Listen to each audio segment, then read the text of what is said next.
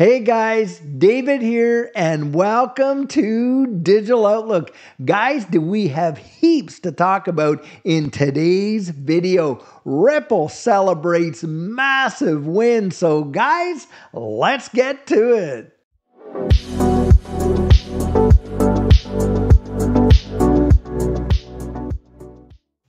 So, guys, like I love to say, there is never a dull moment when it comes to this digital asset space.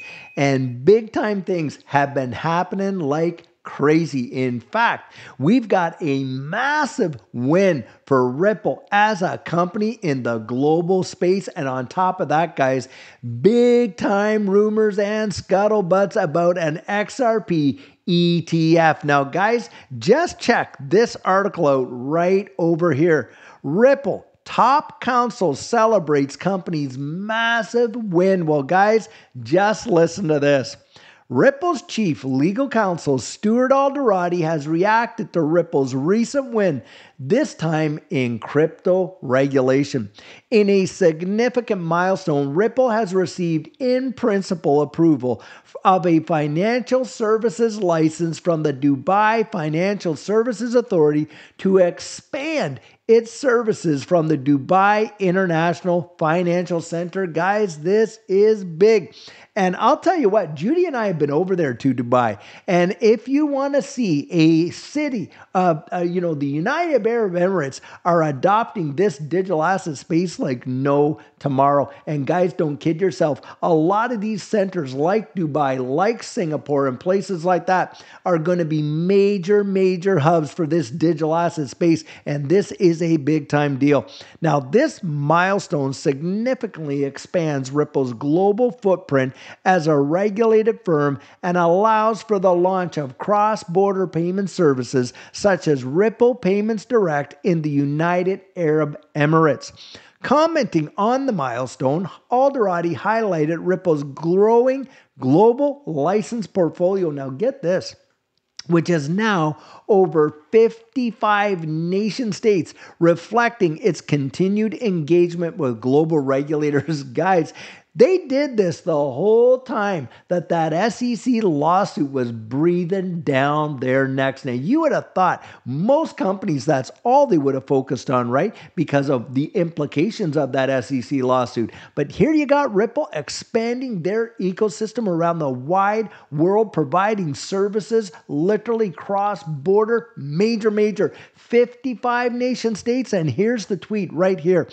Good news as at Ripple continues to add to our global license portfolio 55 plus and counting, a testament to our continued engagement with global regulators and the growing opportunity in jurisdictions that choose to support innovation. Boom, right there. And guys, you can see that's October 1st, just this morning that Stuart Alderoty put that out. Now, the thing is this, and Ripple says this right here we're delighted to have secured in principle approval of a financial services license from Dubai Financial Services Authority unlocking our end to end management payment services in the United Arab Emirates. Guys, we are going to see global regulation in this space happen bang, bang, bang. And I genuinely do believe that in this country, right here in the United States, we are going to see something happen, guys, probably within the next 12 to 18 months, big time, right after this whole selection cycle is done. And with Fit 21, Financial Innovation Technology for the 21st Century Act, I think it's going to pass with flying colors. And you watch and see how this space literally evolves right before our very eyes now. Listen to this right down here. The milestone remains groundbreaking as Ripple will be the first blockchain enabled payment services provider, the first one, guys, to be licensed by the DFSA, the independent regulator of the financial services conducted in or from the DIFC. Now, the DFSA in principle license approval reinforces Ripple's aim to extend its presence in the Middle East, which follows the establishment of its regional headquarters headquarters in Dubai in 2020. Big, big, big. Now, Ripple recently announced a partnership with the DIFC Innovation Hub as part of the company's global 1 billion XRP fund program. The partnership strengthens blockchain and digital asset innovation in the United Arab Emirates by connecting emerging developers to DIFC's extensive innovation network, which includes over 1,000 tech firms. Guys, do you really think that when you look at Ripple and they're utilizing XRP and the XRP ledger in all of this that they're doing, and they're dealing with over a hundred or sorry, a thousand tech firms, and you're watching it being the uh, first, the first one to get this kind of you know approval from the DIFC, guys, I'm telling you what it is going to be absolutely phenomenal when we see the expansion of what of these ecosystems around the wide world. Things are changing and they are changing fast. Guys, this is a major deal. Now, Ripple has also renewed its strategic collaboration with NYU Abu Dhabi through the University Blockchain Research Initiative, UBRI, with a total funding grant of more than a million dollars to support NYU Abu Dhabi's research projects and student initiatives. Major, major deals. But guys, get a load of this. Now, guys, just check this article out right over here. Asset management firm Bitwise files for spot XRP ETF. This came out three hours ago. Now, I have seen a number of articles out there because I wanted to make sure is this real or what's going on? But needless to say, article after article after article is being released on this, and tweet after tweet after tweet has come out over this as well. Now, Asset management firm Bitwise has filed for a spot XRP exchange traded fund with the Delaware Division of Corporations. While this does not confirm an immediate filing with the U.S. Securities and Exchange Commission, SEC, it aligns with Ripple CEO Brad Garlinghouse's positive outlook on the future of XRP exchange traded funds. Asset management firm Bitwise has initiated the process to establish an XRP exchange traded fund. Details of the filing were confirmed on the Delaware Division of Corporations website and by a Bitwise spokesperson. The documentation reveals that an entity named Bitwise XRP ETF was officially registered with Delaware's Division of Corporations on Monday. Now, CSC Delaware Trust Company is listed as the registered agent. This action represents an early stage in the process to potentially list and trade exchange traded fund shares tied to XRP. While this filing suggests progress, it does not indicate an immediate submission to the U.S. Securities and Exchange Commission. Currently, no spot XRP ETF has been authorized by the regulator, as we know, and any forthcoming filing could face hurdles. Bitwise's application is set against the backdrop, of course, of Ripple Labs' ongoing legal challenges with the SEC over the classification of XRP.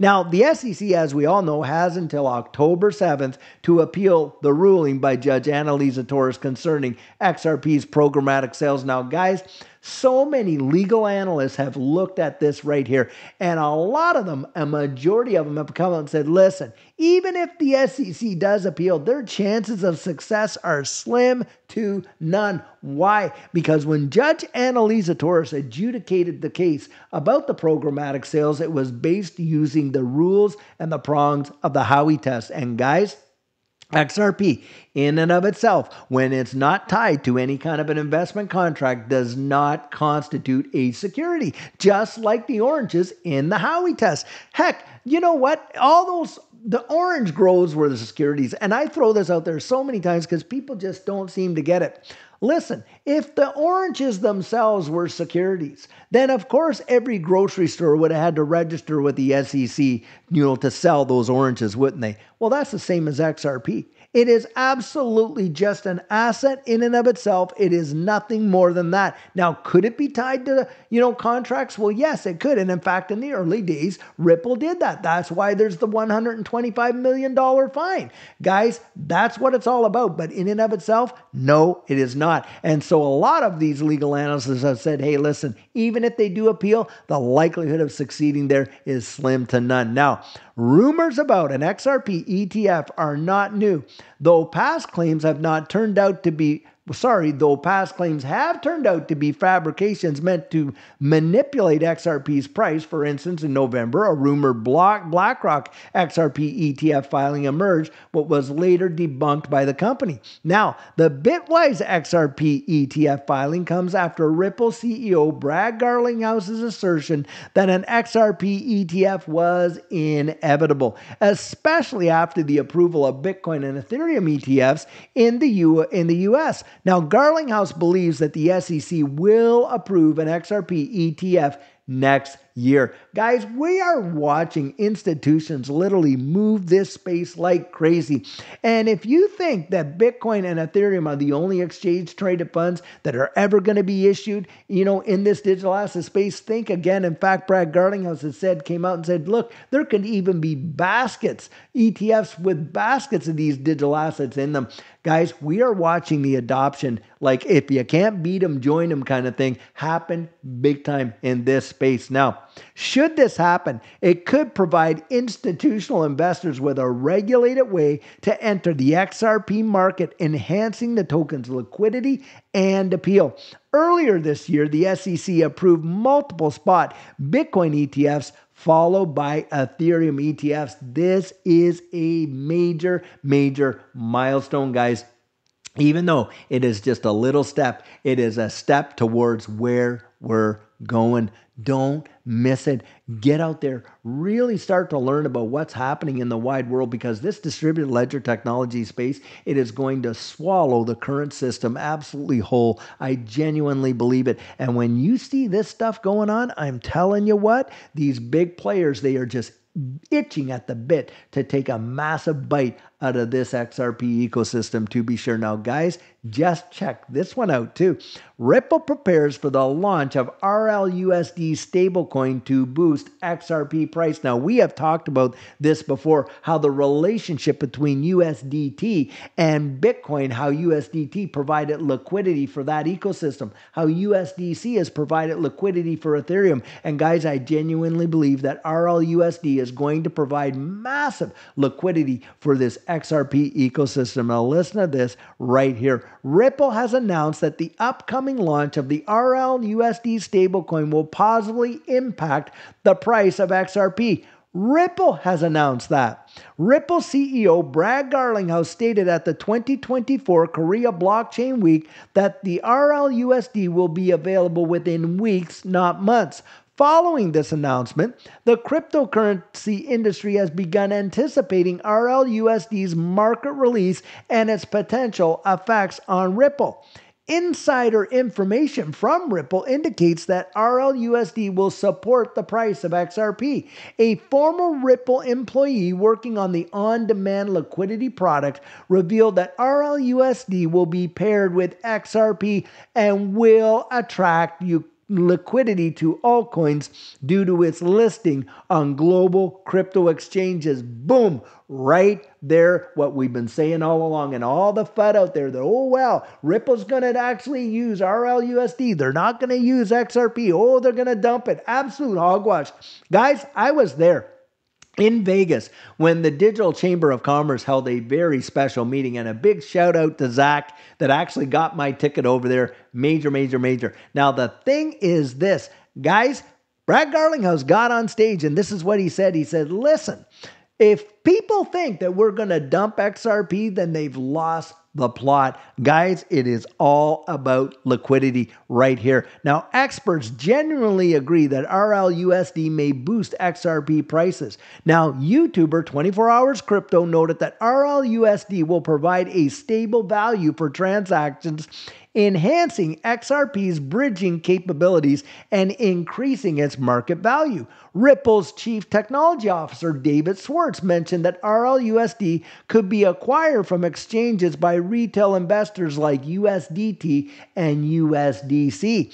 Ripple has been minting the RLUSD coin on both Ethereum and the XRP Ledger blockchains since September 28th. Now, these preparations are deemed critical for the successful launch of the stablecoin. Now, following recent developments, XRP is trading around this 60 cents threshold. Guys, just not too long ago, just a few weeks ago, we were in the 40 cents and oh, it couldn't get past 50. Oh, when we were in the 50, couldn't get past 60. Now people are all pan- look, it's just retracing to prior support that or prior resistance to claim that as support, and I believe is going to bounce from there. Now, some analysts expect the price to rise to a dollar 32, but of course, there's always risk of decline depending on market dynamics.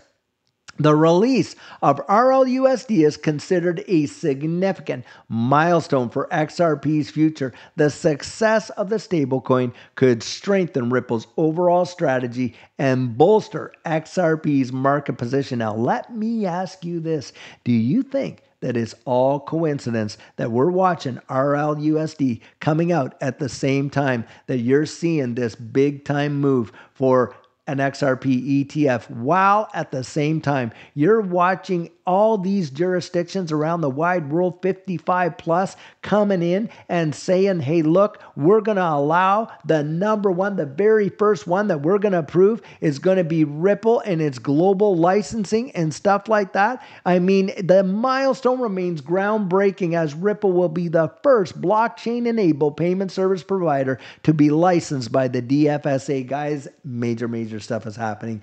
Big, big, big time deals. Get out there, really get your teeth into it. I'll tell you what, for Judy and I, nothing has made us feel more bullish than right now. In fact, we believe we're at the absolute point where things could really start to take off big time. And I'll tell you what, you don't want to be the one standing there on the platform of that train station with your hands in your pockets and your jaws on the floor. For Judy and I, we've got that ticket, and boy, are we ready to take the ride of our lives. So, guys, I think we can all feel it that we are inching closer and closer and closer to a big time alt season in this space. And one thing I can tell you from being there, you are going to thank yourself that you took the time to get your plan in place. And what our coaching program offers, that is where you and I can meet personally, one on one, for one hour over Zoom. And during that time, I share with you our personal journey in that last bull run and what enabled Judy and I to experience some amazing financial success. I share with you the mistakes we made so that you don't have to fall into the same pitfalls we did. We take a look at your portfolio and make sure that it's balanced towards your goals and we work together to develop your exit strategy. We can even get your assets off an exchange and onto a hardware wallet, along with delivering to you some amazing techniques that are really going to help you in this space. Now, the cost of that is $250. And if that's something that interests you, you write me right there at coaching at thedigital.outlook.com and we'll get y'all booked in. So, guys, I truly hope that you enjoyed today's video. And as always, it's not financial advice, it's just my two cents. Hit the like and subscribe and drop your comments right down there in the comment section, and I'll catch you in the next one.